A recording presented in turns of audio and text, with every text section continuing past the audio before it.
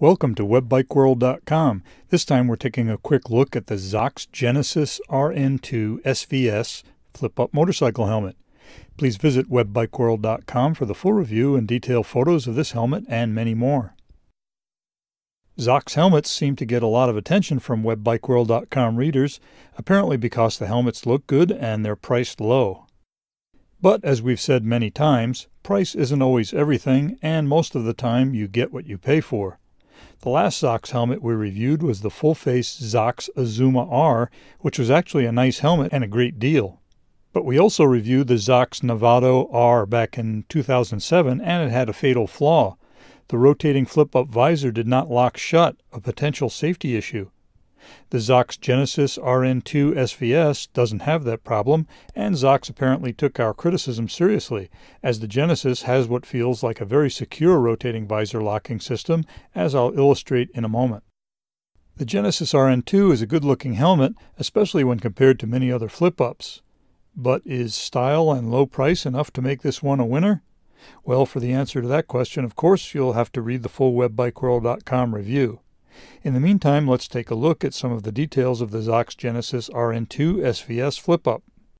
All of the Zox helmets we've reviewed have been nicely finished with excellent paint and external appearance.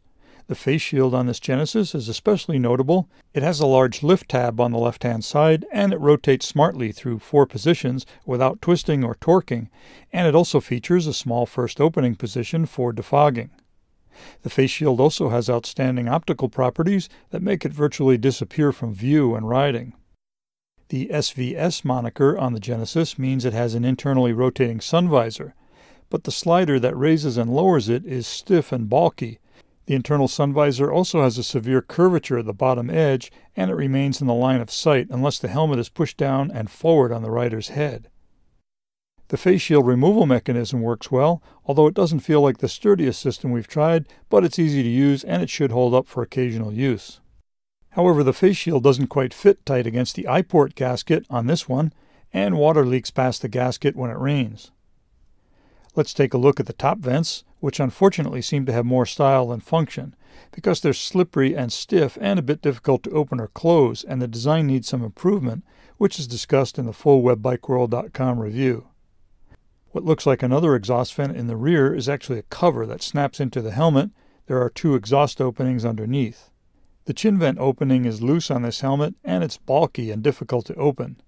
We couldn't determine whether it flows any air into the helmet anyway, and there are no vents through the large chin bar.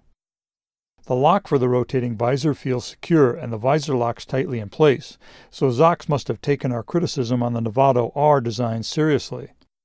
The chin strap is one of the ratcheting types often found on European flip-up helmets. The liner in the Genesis is rather comfortable, and there is some room in the ear pockets for small speakers. So that's a quick look at the Zox Genesis RN2 SVS flip-up motorcycle helmet. Please visit webbikeworld.com for our conclusion, all of the details, more photos, and the full evaluation of this helmet and over 150 more. Thanks for watching.